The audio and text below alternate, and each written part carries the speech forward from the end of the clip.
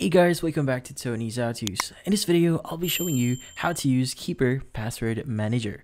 But before we start, hurry up and check out our latest offer just under this video. So let's get started. In this case, how do we start using Keeper Password here?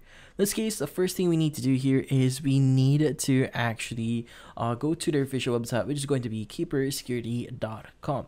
Now, from their official website, what we need to do is we need to try their product for free. So they offer a free trial that you could use for yourself so, so that you'll know if uh, Keeper here is the right product for you.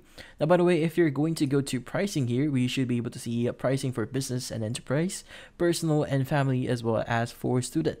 Now, in this case, choose the most uh, compatible for you. Like, for example, if you just want to use this for personal and for your family, you could use personal here, and it's going to give you how much it's actually worth it or worth. Currently, it's worth around 4.58 Australian dollars, and uh, for family, it's 10.08 a month. Now, if you want to buy it, just click on buy now. But for now, let's go and click on try it for free at the top right of the screen. And from here, we want to use it for personal family. Let's go and click on get protected. Now, what we need to do next is we need to enter our email here. In this case, we'll get a three, uh, 30 day free trial. In this case, let's go enter our email, click on try for, for 30 days. And from then on, it should redirect us to another page. But in this case, we now need to basically create our account. In this case, let's go and click on the option here, which in this case, we have email address. Let's click on next. And from here, we need to set a master password. In this case, we also need to agree to Keeper's terms of service or use. In this case, if you want to read that, just click on the appropriate link. So in this case, let's go enter our password. Now, the next page is now going to ask us to enter our verification code. In this case, let's go open up Gmail here and get our verification code. So typically, you will be able to receive it in the, your inbox here. So in this case, let's just look for it. So in this case, you could either look into your inbox or you could also look into your spam mail just in case it's actually there. As you can see, the Keeper email is in my spam folder. Let's go ahead and visit this one. And from here, it's going to say create account. So in this case, it's going to click on the option or basically copy the code or verification code here. Go ahead and go back into uh, Keeper. Just click on verify. Now from here, it should create our account. And as you can see, we are now inside Keeper. Now, in this case, how do we start using it? Well, first things first is we need to familiarize ourselves with the UI itself. So this is the default UI here, which includes our vault. So in this case, at the top left, if you click on the tree bar icon here, this will actually expand or minimize our drawer. Now Vault here will actually uh, give us uh, the option to view our contents or the records that we have right now. So we have three options that we could create here. First is we could create records. So that includes passwords, payment cards, and more. So details or any notes that you want to store. You could also create folders here or subfolders to organize your records. Now, also, you could create your own vault. Like, for example, if you want to create a vault just for you or a vault just for work and whatnot, you could go ahead and do that. So first things first, let's go and create our vault. Let's go and click on create new. And from here, we want to uh, basically uh, create our vault here. So at the top left, you also have the option to create your record, folder, share folder, or generate password here. So for this case, let's go and create, maybe I want to say, I want to create a folder first this case, uh, the uh, full the vault that we have right now is the default default uh, vault that we have right now. So in this case, let's go ahead and enter the uh, folder name here. So just say is going to be a test folder, but you can name this in any way you want. Let's go and click on create. Now, within this folders, you could contain items that inside of your folder. You can even create further of folders within uh inside the folder we just created. So just click on create new here, click on folder again, and you want to select whether you where you want to store it. Now, if you choose my vault here, it will store you, store it in your vault itself. But you could also choose this folder here. Just choose here and enter the name itself. Now, within that folder, we now need to basically create our record. Let's go and click on record. Now from here, we want to choose the uh, type of record type. So as you can see, there's going to be a lot of uh, different records that you could add here. So for now, maybe we want to store either a address, bank account, and a payment card. But you could also store like databases, driver license, contacts, general, or even just files that you want to store here. You could go ahead and do that. So for now, let's just choose address. Now from here, maybe I want to say this is going to be my home. From here, click on next. Now in this case, at the right side, you should be able to uh, basically start creating your records. That includes the address. So let's just say this is going to be address one, and this is going to be address two.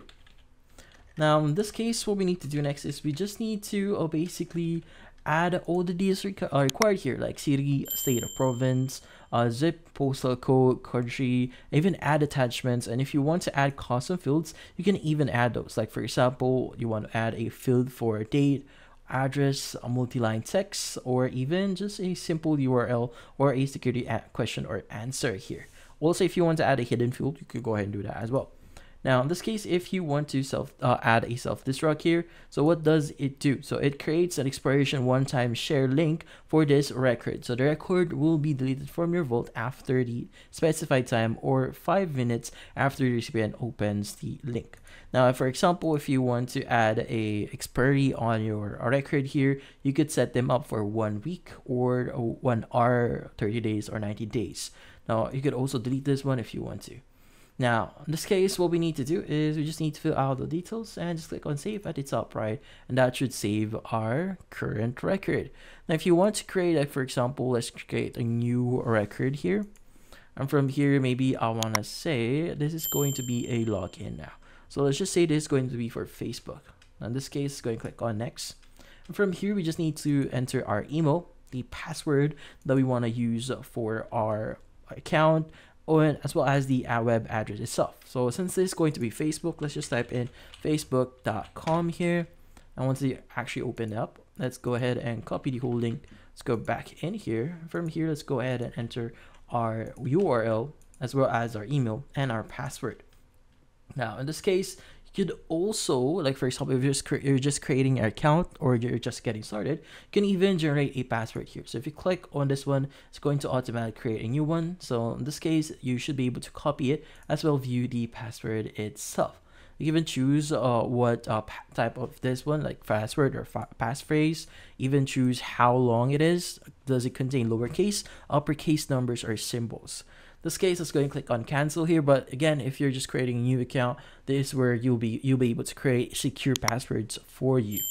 Now, once you're done, you could even add attachments, add custom fields again, add self-destruct, and even add two-factor code here this case, you can either scan. So in this case, you'll be able to scan It's only as you have on Keeper desktop application, which you can download from the website. So in this case, the scan feature here will be uh, only be available via uh, the desktop app here, but you could also upload them if you want to, and even manual entry here if you want to set that up. But in this case, you need to provide the insurer, the account, the secret key, algorithm, digits, and token period here if you want to. Now, in this case, you could also add notes if you want to, but once you've added all the details, just click and save at the top, right? Now, in this case, once you're uh, successfully uh, basically start using the Keeper here, you could also install the app or extension for Keeper. Let's go and click on install here. And from here, that should actually redirect us to the Keeper here. Just click on add to Chrome and add the extension so that we'll be able to access Keeper really easily via our browser. Now in this case, it's going to exit this one. But once it's actually installed, it should pop up this one. So the top right here is going to ask us to pin our extension here. So we'll be able to just click on it and just search for records or even easily access certain records like your uh, Facebook or your home address here or whatever login you want to access. Now in this case, you also have the identity and payments here. So you should be able to see like personal info, payment card section here. So this is a special section for your account. Well, in this case, you'll be able to keep your payment cards. You have the phone numbers, like phone number and address here if you want to add them, usernames if you want to. This is going to be your personal uh, information or your identity. Now let's add a payment card here. Just give an example. Let's go ahead and go to our payment or add, create new. And from here, just say payment. From here, let's go and click on next. And we just need to provide all the details. Like for example, I'm just going to provide these numbers here. And the expiration date is going to be this one.